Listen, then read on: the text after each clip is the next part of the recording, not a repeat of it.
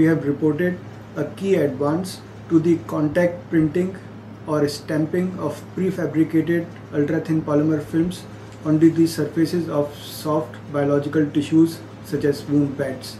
We have demonstrated that incorporating uh, micrometer sized beads in these nanometer thick polymer films greatly enhances their transfer by stamping onto the uh, dermis of cadaver skin. This study was part of a bigger translational wound healing project which whose goal is to develop new fundamental approaches to wound healing that can be quickly translated into clinical settings.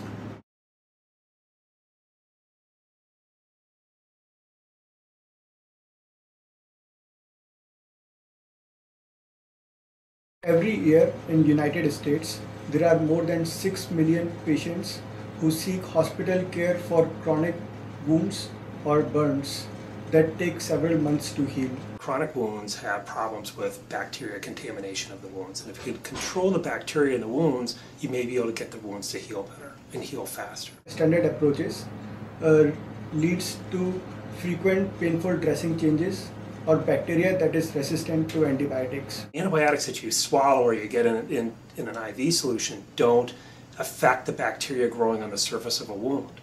So there are antibiotics or antimicrobials used to try to control that bacteria, and silver is a great example.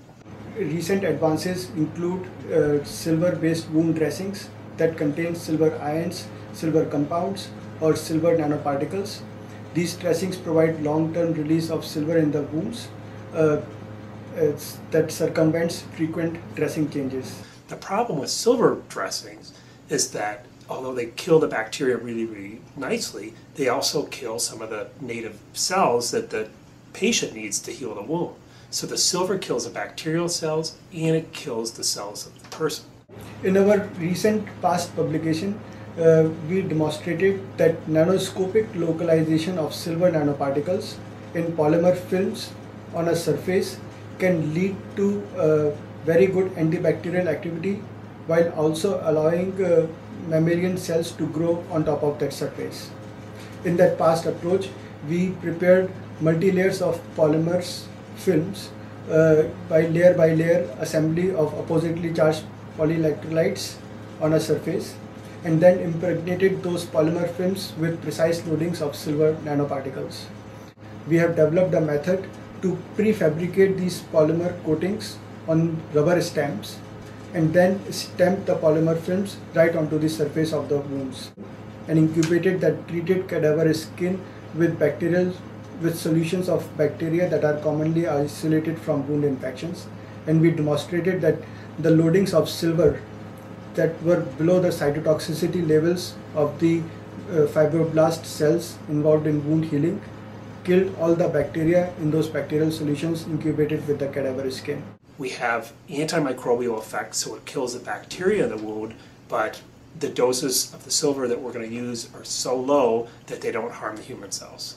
We uh, fortunately, fortuitously found that incorporating micrometer size beads in these polymer films greatly enhanced the transfer of uh, polymer films from the rubber stamps onto the uh, surface of the dermis of the cadaver skin.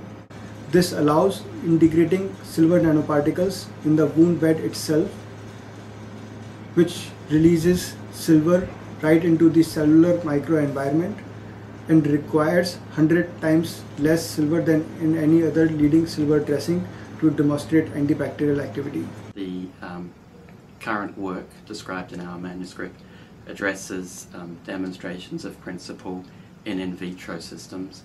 So a um, future direction is to move to in vivo, and that includes animal models, and then ultimately um, trials with humans.